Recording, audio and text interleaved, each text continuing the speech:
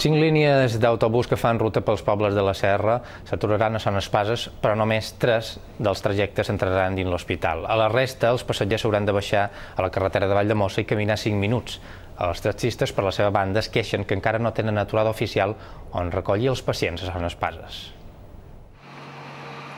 Els residents a Valldemossa, Deià, Solla, Bunyola i Estellencs, entre d'altres, podran arribar a Son Espases sense haver de fer transbord a la plaça d'Espanya de Palma s'han fet canvis a cinc línies per acostar els pobles de la Serra a l'hospital, però només tres rutes d'anada i tres de tornada entraran dins Son Espases.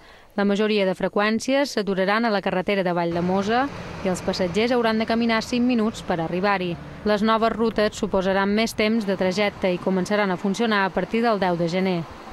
Mentre es potencia l'ús del transport públic, els taxistes es queixen perquè tenen poca feina i ocupen aquest espai a l'espera que algú els assigni una aturada oficial.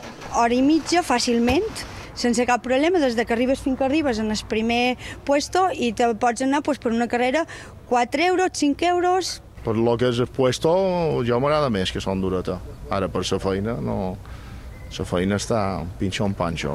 El que ja funcionen des del primer dia són les línies de l'MT que utilitzen sobretot els residents a Palma.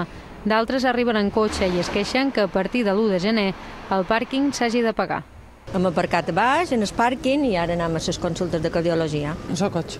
Son impuestos, son multas y tal. Mejor un bus, 27 euros y no pasa nada. Yo me va muy bien porque vivo en Son Claret, pasa por allí. És molt pràctic. 25 euros que ens costaran els treballadors, més 2 euros per vespre que farem, que me pareix usurer a tope, les places no són suficients i els treballadors critiquen que els caps d'àrea tinguin preferència sobre els que viuen fora de Palma per adquirir-ne una.